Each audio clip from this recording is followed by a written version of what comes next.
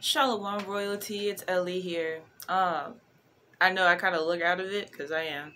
I had a lot uh, go on. I went to Chicago to go visit my son's family for my sister-in-law's graduation. And, you know, everything was cool. I'm really glad we got to see the family and everything. My son, you know, got to spend time with everybody. I hope y'all can hear me. I don't have my microphone with me right now. But, um, serious stuff going on. So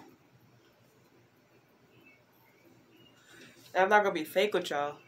I'd be like, you know, everything's perfect. Um, I ain't got no type of situation going on. You know, God puts His strongest through, you know, the toughest situations because only they can handle it.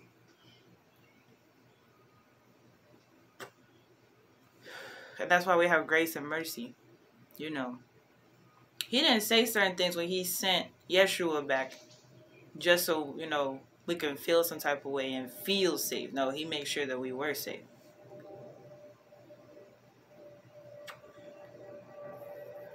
This Is lit though?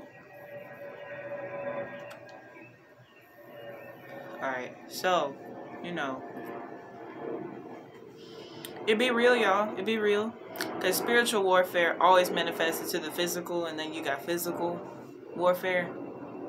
And nobody really wants to talk about, you know, how stuff happens over time and in the spirit plane. Because, you know, time and space doesn't exist past this dimension. Like God don't operate on he don't have to look at his watch and be like, What time is it? That's what we gotta do because we don't be we're not omnipotent. We're not omniscient. I think that's the other word that people use. Uh, I'm not sure if that one's in the Bible, but I know omnipotent. Yeah. He everywhere, all the time. He created everything, so his sense of everything is in everything. I mean, what? What else you want me to say? Y'all get this. Y'all know this. No, we going through it right now.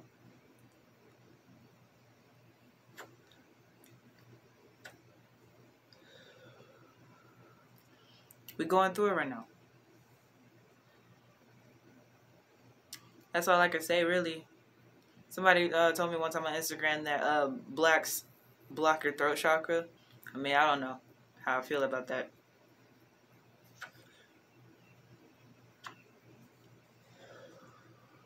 Smoking in general, probably, yeah, like I, I feel that. I just don't know, like, about these specifically. Like, a lot of us smoke whether you smoke, whether it's black and milds or you smoke cigarettes, you smoke weed, you smoke whatever you decide to smoke, whatever your drug of choice is, it be like that. It really just be like that. You know, like I said, grace and mercy. And also, let's talk about something.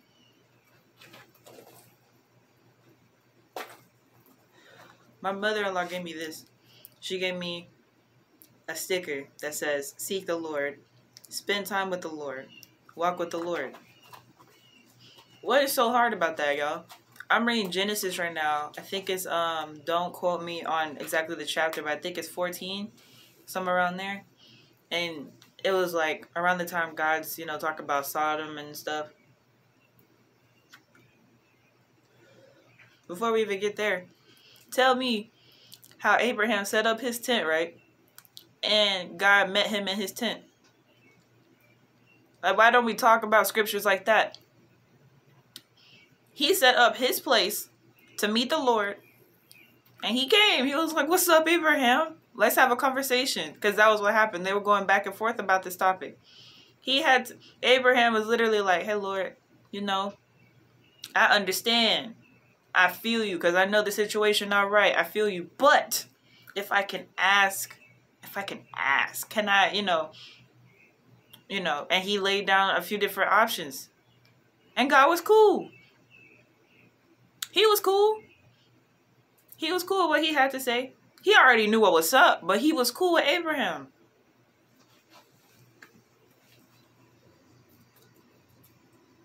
Like, you know, why is it that is weird to have conversations with the Most High God?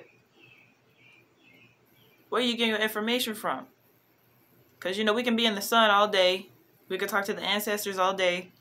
But I'm over here studying my ancestors to see what they did. The ancestors are not the answer. They just give you guidance and wisdom, however they can. The truth is, what's your relationship with God like?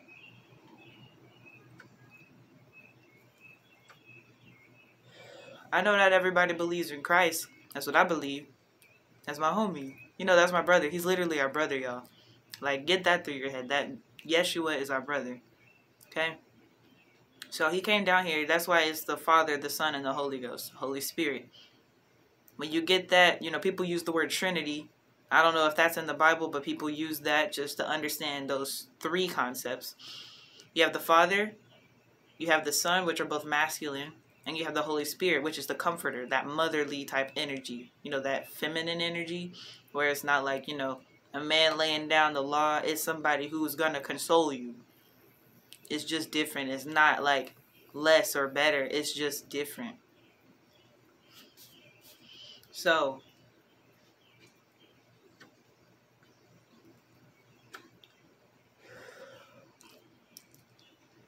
you ain't really got to stress about nothing. And I understand sometimes stress happens, and that's why, you know, it's like your drug of choice. It'd be like that here on earth. Yo, a lot of us really be going through hell, like for real.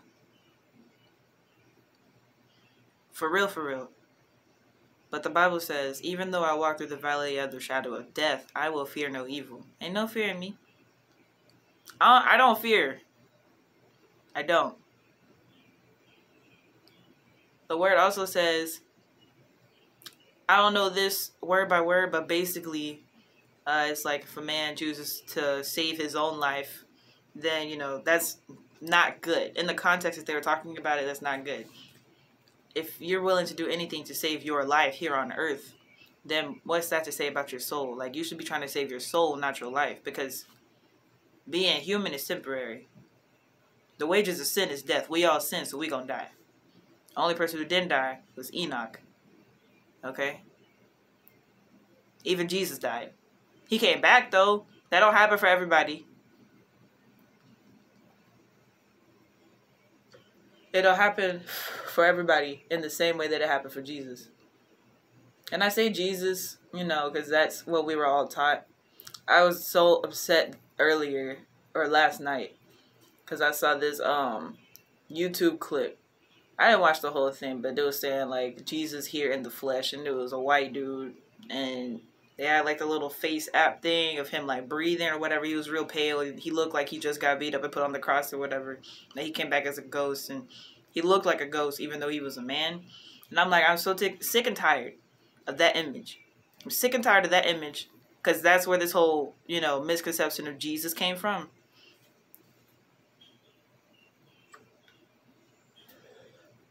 Because when I say Yeshua, you know who I'm talking about.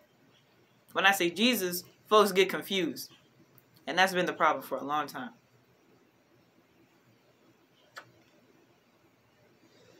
That's been the problem for a long time. And folks don't want to address that. That's my biggest thing. You know, I feel you, Gentiles. I feel you. And if you'll come into the kingdom, that's beautiful.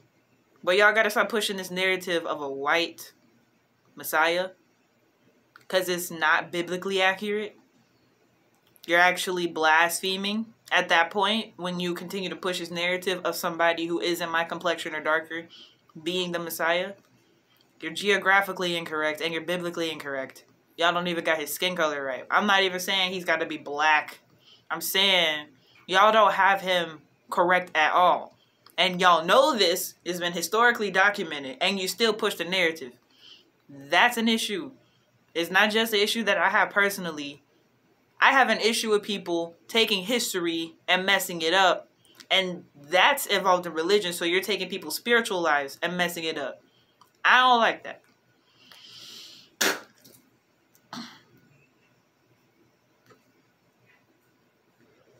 I don't like that. I'm pretty sure the Most High agrees with me. He doesn't like it either. In fact, he hates it.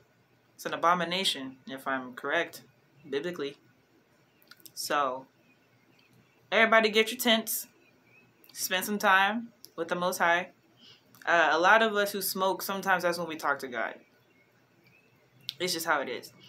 It's not that we're using the smoke to talk to him, it's just we're using the smoke for our physical bodies to calm down and get into space to talk to him. Meditating and stuff helps, but like when you're going through a situation right then and there, you can yes call on him, like, Lord help me in that moment and it light up right after. I'm not encouraging it, I'm just saying that's how it be sometimes. It's just how it is. So, you know, I hope y'all are doing well though. Because I'm good, you know, despite anything that may have happened this weekend and the past few days, I'm good. Because I know God got me. When you walk with the Lord and you seek the Lord, I mean, like, what? When you spend time with the Lord, like, yo, it just be lit. For real. It's a thing, too. You got Shadrach, Meshach, and Abednego in the fire, where that fire killed the enemy's soldiers. The fire hurt the enemy, it did not hurt the righteous.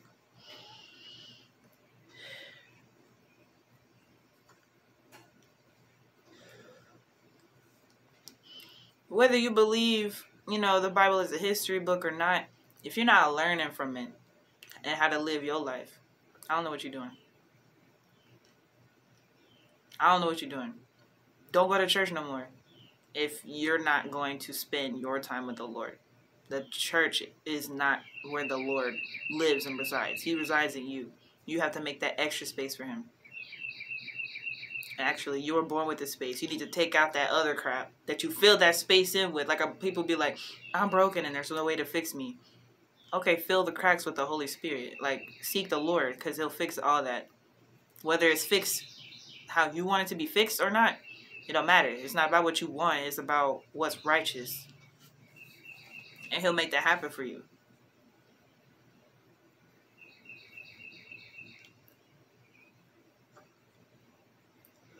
It's all love, though. God is love.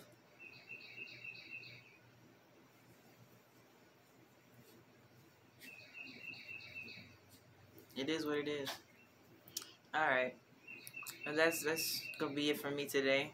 Um, I'm gonna get on here and start doing, you know, my daily videos. At my dog just walked in here. Um, back up again. I just might need some time, uh, just so you guys are aware. Just some stuff. I said I had the trip, visit my family and stuff. So that, uh, catching up with them, you know, helping out when I can, that sort of thing. Then I got a family that I've been knowing for a long time.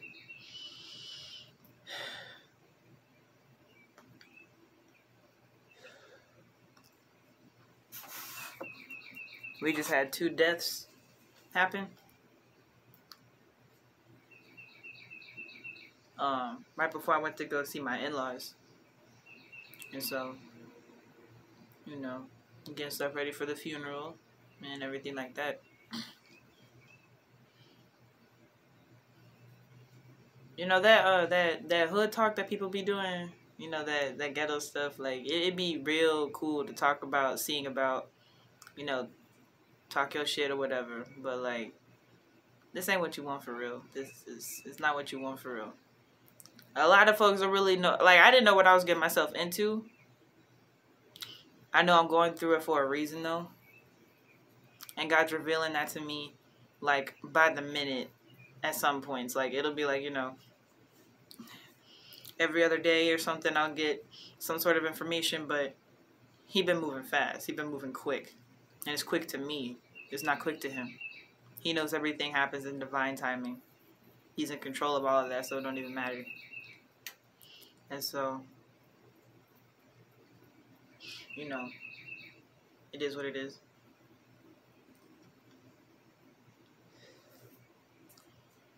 It is what it is, man. Y'all pray for me you know, continue to lift up those who are, whether they're struggling, going through a situation, or just trying. Because some people, they don't really be going through issues. They be trying and, like, you know, stuff don't be working out the, the way that they wanted to. Or, you know, the way that they planned it. And they're stressed out about that. So make sure you pray for those people, too. Everybody going through something right now. I don't care who you are. I don't care your economic status. This isn't a um, Jews versus Gentiles thing. Everybody going through something right now. Everybody. And I understand that. So I'm not gonna uh like you know rush into an issue. Don't rush into an issue with somebody. What's that other scripture? It's like like a man with a loose tongue or loose lips yeah, it's it's not good. Like don't don't quote me on this, but I know a quiet answer turneth away wrath. I know that one. That's not the one I'm talking about though. This is a different one. And basically, when you keep, you know, your peace and you don't say anything, that's good. Sometimes you don't need to say anything, or you don't need to say as much as you thought you needed to say. Holy Spirit intervenes. Like you'll be saying something, and then Holy Spirit will be like, hold back. And you'd be like, okay. Then you see why later. Yep. So, yeah. I'm to go ahead and go. Uh, I will talk to you all in the next one. Shalom royalty. Dawada. Y'all have a blessed day. I love you.